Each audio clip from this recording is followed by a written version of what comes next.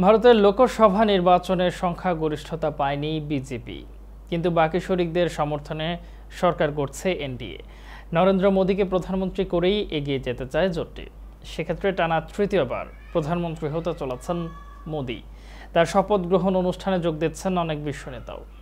আগামী শনিবার আটজন প্রধানমন্ত্রী হিসেবে নরেন্দ্র মোদীর শপথ নেওয়ার কথা রয়েছে।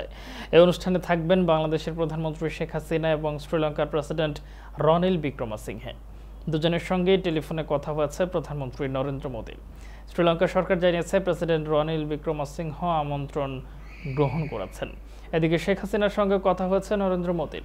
তিনি এনডিএর এই জয়ের জন্য অভিনন্দন জানিয়েছেন। অন্যদিকে ভুটান, নেপাল ও মালদ্বীপের প্রধানমন্ত্রীদেরও আমন্ত্রণ জানানো হতে পারে বলে জানিয়েছে ভারতীয় গণমাধ্যম। কিন্তু পাকিস্তানকে কি আমন্ত্রণ জানানো হবে এ নিয়ে উঠেছে প্রশ্ন। পাকিস্তান সরকারের পক্ষ থেকে বারবার ভারতের সঙ্গে সম্পর্ক পুনঃস্থাপনের বার্তা দেওয়া হচ্ছে। তাই পাকিস্তানের কোনো শীর্ষস্থানীয় নেতা মোদীর শপথ গ্রহণ অনুষ্ঠানে আমন্ত্রণ পেলে অবাক হওয়ার কিছু নেই।